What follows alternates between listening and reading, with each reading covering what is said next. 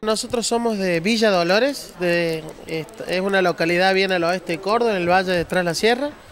Eh, lo que hacemos es yerba mate compuesta. ¿sí? Yerba mate compuesta es, es una yerba dona reggae, es una yerba que no tiene conservantes ni agregados químicos. Son justamente por eso es compuesta, porque tiene dentro de sus componentes un poquito de la hierba que indica de acuerdo a la variedad. Por ejemplo, en este caso con menta, es yerba mate con un agregado de hierba de menta.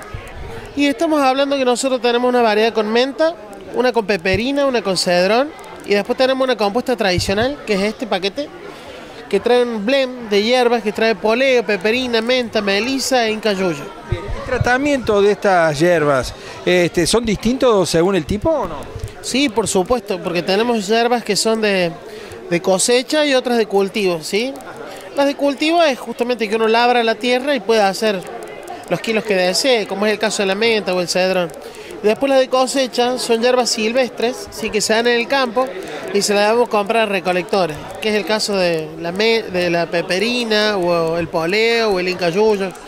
Vendíamos antes las hierbas aromáticas como, como materia prima para otras empresas, para otras marcas, y desde hace un tiempo decidimos sacar nuestra propia marca. Y bueno, es un trabajo muy distinto, distinto al, que comúnmente se hace eh, en el mercado donde estamos eh, trabajando, pero este, bueno, estamos aprendiendo, el, país es muy federal, muy grande, nos cuesta mucho el tema de la distribución, eh, colocar una nueva marca es nuestro mayor desafío y mantener la calidad es lo que es nuestro, nuestro principal objetivo hoy, hoy, hoy, hoy por hoy.